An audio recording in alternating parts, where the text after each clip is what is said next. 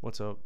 This is Cheap Ass Statue Collector, and today I'm doing a narration of the unboxing that I did for my Superman PF exclusive edition. I got this at a con recently for a really good price.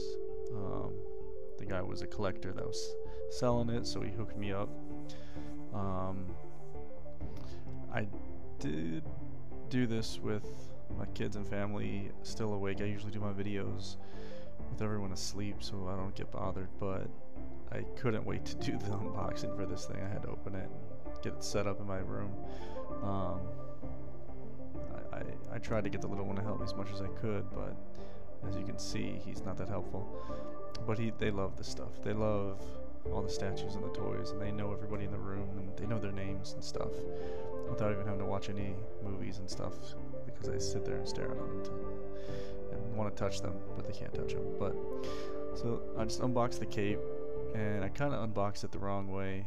Uh, I was I probably should have left that side flat first because right now all the heads just fell that were inside the pockets of that, uh, or they they're going to fall as I opened it up. So you see everything's kind of falling off, falling out of the top box. So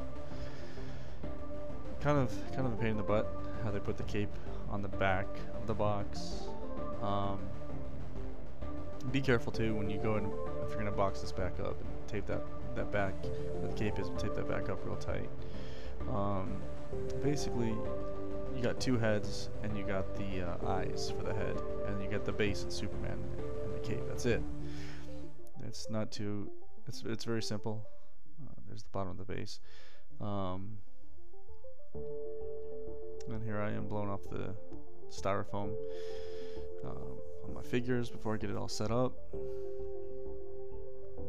And everything was easy. Setting them in the base was was no no problem. Um, assembling the cape and the head was a little bit more difficult than it was for like the Batman PF that I have, modern age. Um,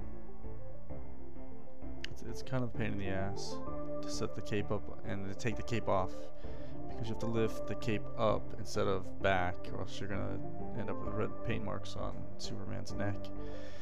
Um, it's kind of stupid how you have to put his head on first and then put the cape on because you have to be extremely careful not to knock the head off or knock, you know, scrape the head with the red cape. So I did it. I got it set up. As you can see right there. Here is the finished product. And I'll be doing a review shortly of this as well. So stay tuned guys and thanks for watching. I hope you enjoyed the unboxing.